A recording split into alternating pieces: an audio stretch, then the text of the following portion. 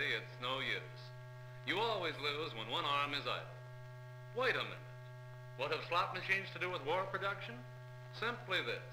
In aircraft plants, there are thousands of one-armed bandits. Let's take a look. Here's the first one-armed bandit working on the tail wheel control assembly for the monocoque of the Consolidated Vultee Basic Trainer. Cables are attached by bolt and nut to each end of the spring. A safety cable is connected between, and the assembly is made secure with a pin. Actually, she is working with only one hand. The left hand is being used merely to hold the spring, while her right hand is doing all the work. She is breaking a simple rule of motion economy.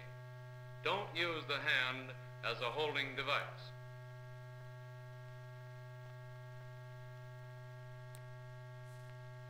And here is another one-armed bandit.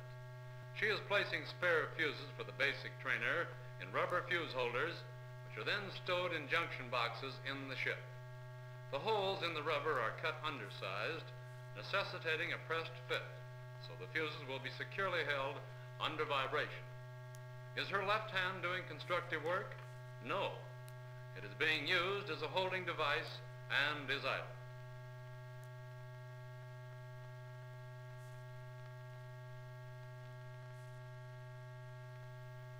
Watch these one-armed bandits. Three operators were required to maintain production on these intercooler clamp assemblies. 64 clamps are used on every consolidated Vultee Liberator bomber. Each woman is only using one arm for productive work, with the other arm idle while she is using her hand as a holding device. The ears of the hinge must be spread apart to allow for easier insertion of the pin. Notice the inaccessibility of the hinges and the disorganized condition of the workplace. The pin is then hammered into the loop of the hinge and through the hole in the eye bolt. The left hand not only holds, but must align the eye bolt to allow the pin to go through. One-arm bandits? Yes. All right, all right. The hand should not be used as a holding device. Well, what can be done about it? A fixture should be used to hold parts during assembly. When this is done, both hands can work together and maximum production can be attained. Here's how these one-armed bandits were eliminated because vacations are over for left hands. A holding fixture has taken the bandit's place in this operation. Both hands are now working together. As the left hand positions one bolt, the right hand positions a cable. Parts are arranged in easily accessible locations. This is just horse sense motion economy. Always place the parts for an assembly near the center of work so they will be within easy reach of the operator. A nut runner suspended from an overhead arm has replaced the hand-operated ratchet wrench.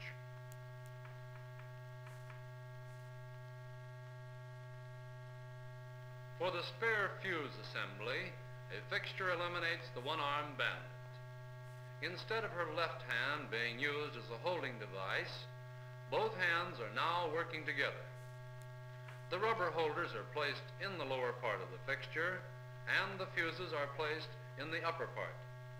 The pressure on the lever forces the fuses into the holders. Two assemblies are now completed at once.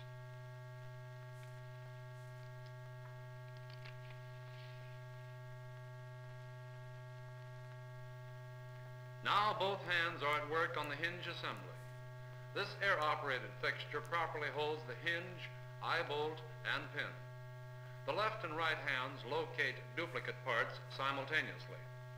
A foot pedal actuates the air cylinder, and a drop delivery chute disposes of the completed parts to a tote pan below the bench.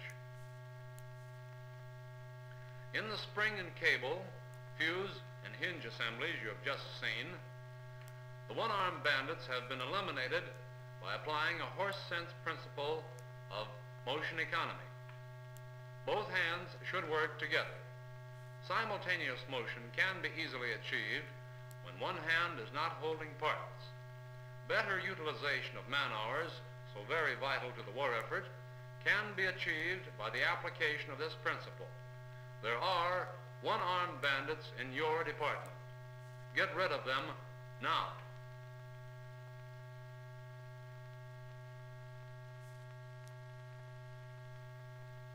Are you still trying to beat that machine with only one arm? Haven't you learned about working both hands together for increased output? That's right. When you work with both hands, it really pays off.